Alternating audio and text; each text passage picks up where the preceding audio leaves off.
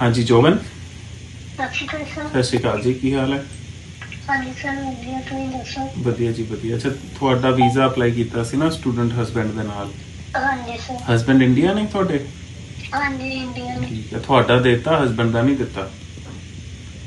ਕਿਉਂ? ਕਹਿੰਦੇ ਹਸਬੈਂਡ ਨੇ ਵਾਪਸ ਨਹੀਂ ਜਾਣਾ। ਸਰ ਹੁਣ ਤੇ ਮੈਨੂੰ ਉਹਨਾਂ ਦੀ ਜ਼ਿਆਦਾ ਲੋੜ ਹੈ ਨਾ ਇਸ ਟਾਈਮ ਜਿਆਦੀ ਲੋੜ ਆ ਉਹਨਾਂ ਦੀ? ਹਾਂਜੀ।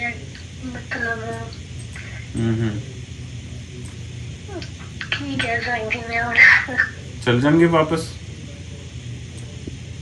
ਨਹੀਂ ਹੁਣ ਸਰ ਐਕਚੁਅਲੀ ਵੈਸੇ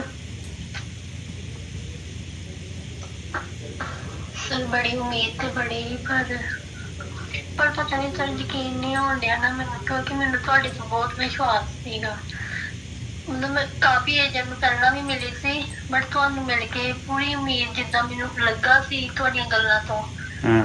ਕਿ ਮਤਲਬ ਕੰਮ ਬਣ ਜਾਏਗਾ। ਅੱਛਾ ਗੱਲਾਂ ਤੋਂ ਲੱਗਦਾ ਸੀ ਕੰਮ ਬਣ ਜਾਏਗਾ ਕੰਮ ਤੇ ਤੁਸੀਂ ਦੇਖਿਆ ਨਹੀਂ ਤੁਸੀਂ ਤਾਂ ਗੱਲਾਂ ਹੀ ਦੇਖੀਆਂ ਸੀ ਫਿਰ। ਨਹੀਂ ਸਰ ਮੈਂ ਤੁਹਾਡਾ ਪਹਿਲਾਂ ਵੀ ਦੇਖਿਆ ਇੱਕ ਦੋ ਰਿਜ਼ਲਟ ਮਤਲਬ ਤੁਹਾਡੇ ਨੋਟ ਵਿੱਚ ਹੀ ਨੇ ਹੂੰ ਹੂੰ। ਬਟ ਉਹ ਇੰਨੇ ਖਾਸ ਨਹੀਂ ਸੀ। ਰਿਫਿਊਜ਼ ਕਿੰਨੀ ਵਾਰੀ ਕਰਵਾਇਆ ਪਹਿਲਾਂ ਹਸਬੈਂਡ ਦਾ? ਨਹੀਂ ਪਹਿਲਾਂ ਕਦੀ ਹੋਇਆ ਫਸਟ ਟਾਈਮ ਹੀ ਲਗਵਾਇਆ ਸੀ ਤੇ ਤੁਹਾਡੇ ਕੋਲ ਹੀ ਲਗਵਾਇਆ।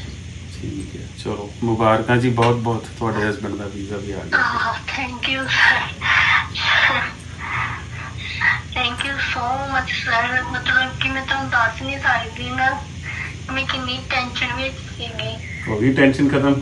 ਬਿਲਕੁਲ ਸਰ ਬਿਲਕੁਲ। ਬਟ ਸਰ ਮੈਨੂੰ ਇਹ ਵੀ ਉਮੀਦ ਹੈਗੀ ਕਿ ਆ ਜਾਣਾ ਹੈ ਹਾਂ ਹਾਂ। ਕਿਉਂਕਿ ਜ- ਜਿਹੜੇ ਤੁਸੀਂ ਸਟੈਪ ਵਾਈਜ਼ ਤੁਸੀਂ ਮਤਲਬ ਸਾਰੀ ਫਾਈਲ ਲਾਂਚ ਕੀਤੀ ਸੀ ਨਾ ਹਾਂ ਹਾਂ। ਮਤਲਬ ਮੈਨੂੰ ਪੂਰੀ ਉਮੀਦ ਹੈਗੀ ਸੀ। ਥੈਂਕ ਯੂ ਜੀ ਬਹੁਤ ਬਹੁਤ। ਤੇ ਉਹਨੇ ਥੋੜੀ ਦੇਰ ਪਹਿਲਾਂ ਹੀ ਆਇਆ ਉਹਨੇ ਤੁਹਾਨੂੰ ਈਮੇਲ ਫਾਰਵਰਡ ਕਰ ਦਿੰਦਾ ਓਕੇ ਥੈਂਕ ਯੂ ਸਰ ਜੀ। ਬਹੁਤ ਬਹੁਤ ਧੰਨਵਾਦ ਤੁਹਾਡਾ। ਯੂ ਆਰ ਵੈਲਕਮ ਓਕੇ ਜੀ ਬਾਏ ਓਕੇ ਥੈਂਕ ਯੂ